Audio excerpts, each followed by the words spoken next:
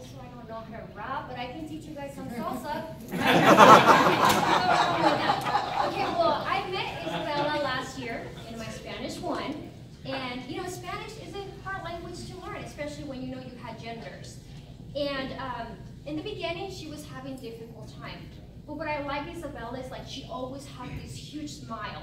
And I remember once when I started seeing how much improvement she was making, I actually took the time to meet up with her. And I told her, Isabel, do you notice how well you're doing on your test? She's like, yeah. And I said, you're doing all the work. And she's like, I know, Mrs. Leon. I said, oh, but I think you're helping me a lot. I said, no, it's only your mindset. You want to do the work and you're actually improving because you are listening and participating and engaging in class. So um, this year again, I have a pleasure having her in my Spanish two. And Isabel's the type of student that I don't have to worry about sitting in charge. Because wherever I put her, she's willing to work with the person next to them.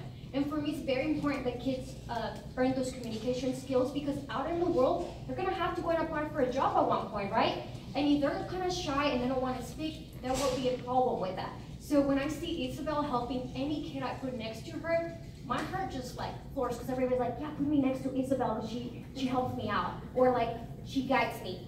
And like you say, look at that beautiful smile. I see that every time. She never has a negative attitude. She's always willing to work. And you know, I didn't even have to prepare a speech because she's an outstanding student and I hopefully she continues to do this because I'm very, very proud of her. Keep it up.